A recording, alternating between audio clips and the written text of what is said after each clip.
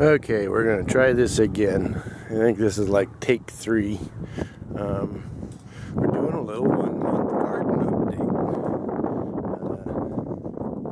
Uh, so, the oldest part of my garden, which would be the corn and green beans and that sorts of things, have been in officially four weeks. The younger part, which is the corn and that stuff over there, had been in about three and a half weeks. Got some cabbage, got some corn. It's doing better now that it's uh, uh, getting past its tiny stage. uh, growing pretty good. We got a good sized row of carrots. They're coming in good. Got a row for something. Thinking probably more beets the beets and accidental onions are doing well. The lavender I planted, heard bees like it. It's doing pretty cool. Uh, putting on all the little blooms, whatever they're spears or whatever they're called. Uh, if anyone wanted to give me any advice on growing lavender, that'd be cool. Green beans doing well, putting on blooms. It's always my favorite time when they start putting on blooms and you see the honeybees and stuff coming up to them. We've got uh, um, russet potatoes, we got some beans, and more potatoes. I'm not sure what those potatoes are. They might be reds. I think those ones might be my red potatoes, the shorter row over there. Um, and then on the other side of them, we got more green beans. Can't have too much green beans. Um, what I can't eat or can't can or give to family, I just take to church, and people are real glad to take them home.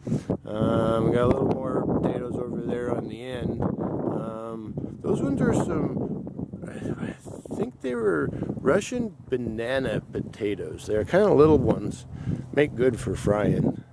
My uh, wildflower patch, and I'm not talking about my dandelion farm, um, is coming up pretty good. I'll get the second part in probably by the end of the week, this next week. And then over here we got some tomatoes, we got onions, red onions over there, white onions over here. Um, red sweet bell peppers down on the end there. They're yellow right now. Um, some green bell peppers, some doing well, some not so well.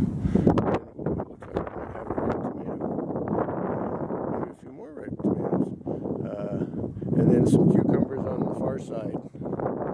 Um, and they're doing good. I've already picked cucumbers off them. Looks like I maybe got one, couple more ready. Those ones are burpless cucumbers, and then I put in some pickling cucumbers. Um, and I've left some of the natural flower just to get the bees to come up. Seems to be working pretty good actually. Um, then over here I have zucchini. I've already pulled a few zucchini off of it. It's doing well. Um, back there is a patty pan and crookneck, I think it is. And then some cherry tomatoes. That one's a green steak tomato something. My mom likes them. It's doing well, but not doing well. And different types. This one here in the front is a is a black tomato of some sort. A what is it? Indigo rose. Looked cool, why I planted it. Um, and I got some more cucumbers. I got some cucumbers ready to pick already too. Then back there we got uh, acorn squash. And I noticed just the other day we got us a little baby acorn. That's so cool. Um, and then over here I got blue and purple potatoes. I'm gonna go see about getting some more straw. And then my half a week, week older corn. Um, then up here I planted, this stuff here in the corners that stevia, I think it's called. Just because she threw it in, because it was gonna die if I didn't take it home. And then we got some mint and double mint. I should put some gum in there, huh? Double mint gum. Um, and then spearmint. And those are my garlic that I didn't know I was supposed to plant in the winter. And then, what is it? Uh, sage and oregano. those were some more that, well, if I didn't take them, they were going to die on the rack. So I brought them home, put them in the ground. But, uh, so that's the, the little big garden that could. Uh, I was talking with God when I planted it, and I said, You know, Lord, we're getting this in late. You're going to have to make it grow fast. Pretty sure He told me I can do that. So it's kind of what it's looking like.